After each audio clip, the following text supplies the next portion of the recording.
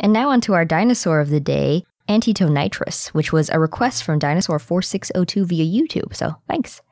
It was a sauropodiform that lived in the Triassic Jurassic boundary in what is now South Africa in the Elliot Formation. And it was named in 2003 by Adam Yates and also in the paper was co-authored by James Kitching. The type species and only species is Antetonitrus ingenipes. The name Antetonitrus means before the thunder, and it refers to the fact that this dinosaur existed before Brontosaurus and other known sauropods, but mostly Brontosaurus. Because that one's thunder lizard. Mm-hmm. and the species name means massive foot.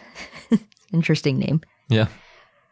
The fossils were found in 1981 by James Kitching, and they were stored at the Bernard Price Institute for Paleontological Research in the University of the Witwatersrand in Johannesburg.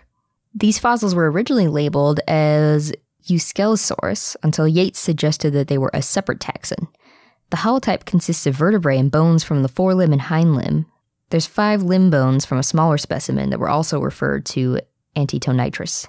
The holotype was about 26 to 33 feet or 8 to 10 meters long, but the neural arches of the vertebrae were not fused with the centra, so it might not have been fully grown.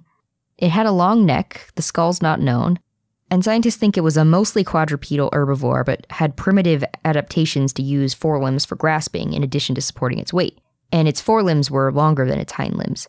The first digit of its hand, the thumb or pollex, was still flexible and capable of grasping. Later sauropods had large, thick wrist bones and their hands were locked in a way to support their weight full time.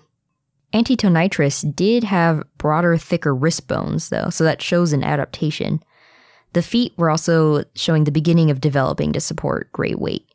Also, the first toe on its foot had a claw, though it wasn't shaped exactly like later sauropods. So, Antetonitrus could be a translational link between bipedal sauropodomorphs and quadrupedal sauropods. It's not necessarily a direct ancestor to sauropods, however. Scientists have classified it as a sauropodiform, which is an animal that has features related to the origin of sauropods. It closely resembles Blikanasaurus and Lessemsaurus, but both of these are poorly known.